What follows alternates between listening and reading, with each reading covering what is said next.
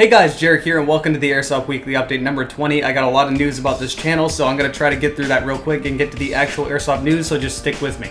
So first things first, an update on the WE M9 that literally exploded while I was firing it. So I RMA'd the gun and I got some information back that is a bit mind-boggling to me. Apparently, this is a common manufacturing error. The gun exploding in a potentially harmful and dangerous way is a common manufacturing error. That is crazy to me, and it really speaks volumes about WE's quality control. They didn't even test it enough to see that their gun might explode.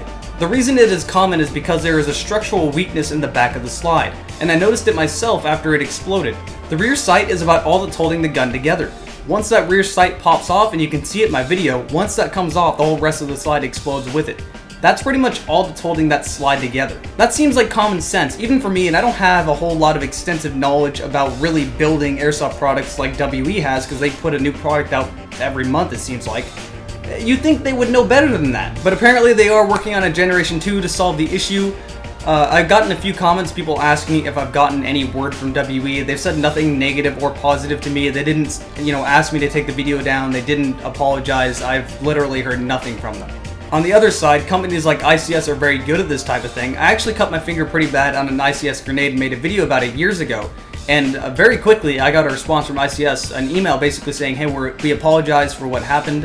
Uh, if there's anything we can do, uh, let us know. We're changing our grenades, so this won't be an issue in the future. And generally, they were very, professional and uh, very uh, personal at the same time. WE, not exactly the same. So they're not the best of quality companies when it comes straight down to it, but I'm not going to stop making reviews of products, and I'm going to be completely unbiased if I get any more WE products, which I guarantee you I will because they have a ton of products released. With that said, hold off on buying that Barry Burton M9 Custom from WE until you know the second generation is actually better. Apparently the second generation won't come out until a few more months, so I ordered another gun and RMA'd it for something entirely different, so you're not going to be seeing full reviews on that for quite a while, if at all. However, the gun you'll be seeing reviews of this week is of this. Now, this may look like a standard G&G Combat Machine M4. You've seen tons of these before, but this one's a little bit different.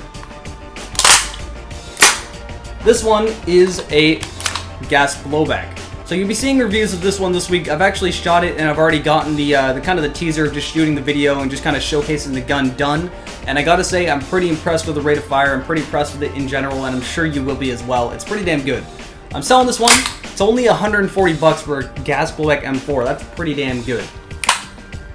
After I make videos of the Gas Blowback M4, you might not see stuff coming out of this channel for a little bit of a while. The reason being is that I'm putting my money into upgrading my computer instead of getting new airsoft stuff to review and then selling them off later. Uh, it, my computer is probably getting to the point where I need to upgrade it. I don't desperately need to, but when you up, when you make as many videos as I do, uh, you should probably keep your, your computer up to date. Right now I'm using a Lynnfield i5. It's not terrible, but I definitely could have a lot better, and it's getting to that point where I should probably upgrade. So once I finish that, I'll be going back into the full production, making sure I have videos to release every single week and a new gun every week. Uh, so up until then, just posting here and there. Again, remember, if you want me to review anything and you want a gun yourself, you can buy it through me, and uh, it helps both of us out.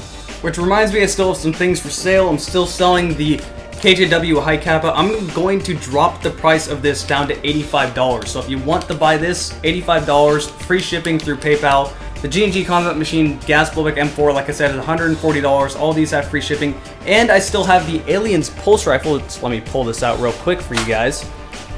This badass thing right here. Still selling this thing. Price is 320. If you want any of these, it's simply payment via PayPal send me a message, a personal message on YouTube, and I'll reply to you back with how you can order it if you want it.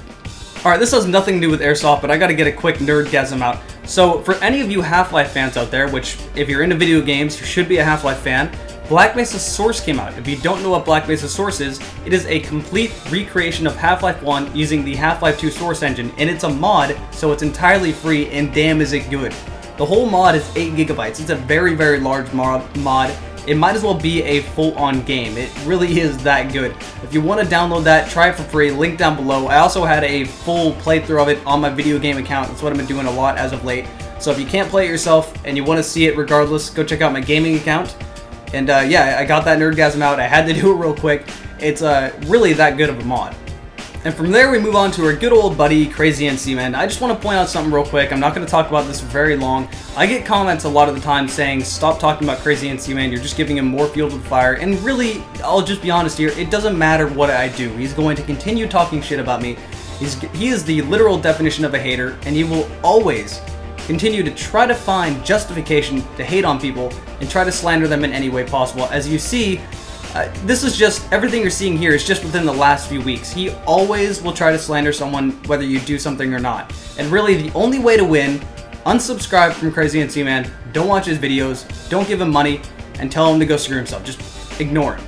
And pretend like he doesn't exist. That's the only way you're really going to win. Because honestly, on my side, it really doesn't hurt me. I get comments like this a decent amount, where people get, you know, they look at me and they go, oh, hey, look, that guy, he, he, talks about him a lot. He must be terrible. I'm gonna go check him out, and then they find out I'm the complete opposite of what Crazy NC Man says I am. So they subscribe to me and they start watching. So thanks for the added traffic, Crazy NC Man. It actually really helps. And now we move on to the actual Airsoft news. A lot of things have been showing up in stores that you haven't been able to get before. Some of the metal S&T Tavors have shown up here and there. Those have been around for a little bit of a while, but if you want a metal gearbox S&T Tavor, you're able to get them easier now. The carbine kits for Glocks, for KWA's Glock series, you can now get those on evike.com, and they've been showing up here and there. They're kind of cool looking, definitely interesting. As you saw earlier, the G&G Gas Blowback M4s for only 140, crazy price for Gas Blowback M4, those have been showing up. G&G has finally released their F2000 with the telescope optic, and I've been asking for that for a long time because it's just not an F2000 without the telescope optic. You need to have that optic on top. It's just, I really like the F2000, but without that optic, it loses a lot of its value. And the last news I want to talk about is that G&P's M14 DMRs have showed up once again, which is pretty sweet because they make one of the best, if not the best M14. They're really high performing, great accuracy. Uh, I'm a big fan of G&P and I really like their M14s. I was very impressed with the uh, DMR I got. However, they haven't shown up in OD. They just showed up in wood and tan, and to be honest, they kind of look a little bit ugly in those colors. But hey, if you want a G&P M14 DMR, they're available. Alright, well there's been the Airsoft Weekly Update. Hope you enjoyed it, and I'll see you guys later for the G&G M4 videos. Sweet, can I start the Tesla coil without getting hurt and I can actually see what's going on?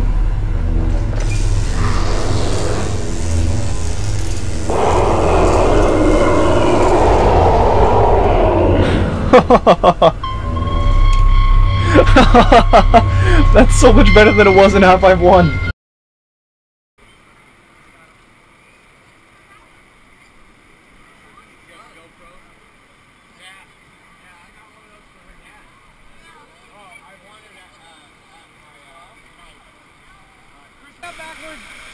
I